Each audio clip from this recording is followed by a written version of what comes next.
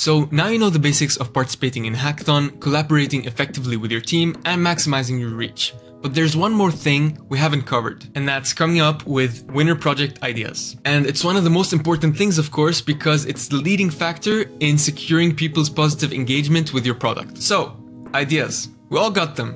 But what makes one idea better than another? And is there even such a thing as a bad idea? Well, yes. And here are the key points which a bad idea is missing to become a good one. The first thing is a reason. Why exactly are you making this idea? What problems does it solve? What purpose does it have?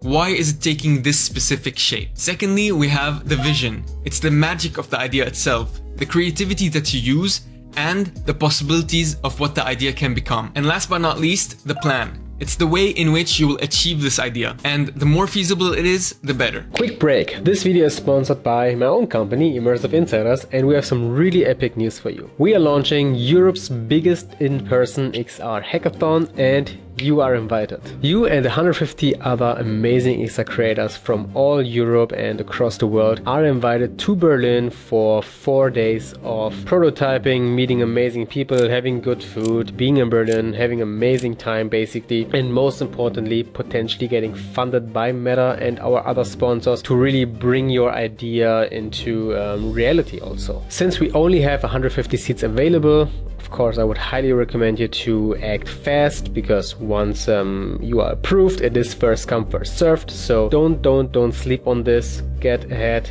and uh, apply now. We're looking forward to meeting you in Berlin, xrcc.events, and there we go. I will see you there and now let's move on with the video. Now we know the difference between a good idea and a bad idea. But we should also keep in mind that a good idea is not destined to become a good product. Much of the idea's value comes from the way in which it was executed. Some bad ideas might even result in better final products than good ideas. But of course, starting with a good idea helps you work on the project and increases your chances of a successful end product. So let's quickly go over some traits that will help you with executing your good ideas. 1. Being catchy, having a specific element that sticks out. 2. Short and simple. Less is actually more. That's especially relevant in XR projects where people who are trying it might not have the time, the knowledge or patience. 3. Easy to understand. Your project and idea need to both be easy to understand and to explain to someone who doesn't know about them. It's good to have an idea that you can simply explain to someone in just one sentence. 4. Interesting and new. Don't make something that has already been done a million times. Specifically in VR, you should be exploring new avenues, trying new ideas, and being creative. 5.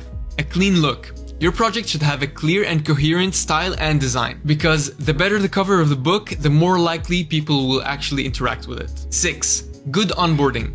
You shouldn't have to explain how your project works once someone is already in the experience. It's good if you can communicate everything about the functionality of your project directly through the experience itself. 7. Polish.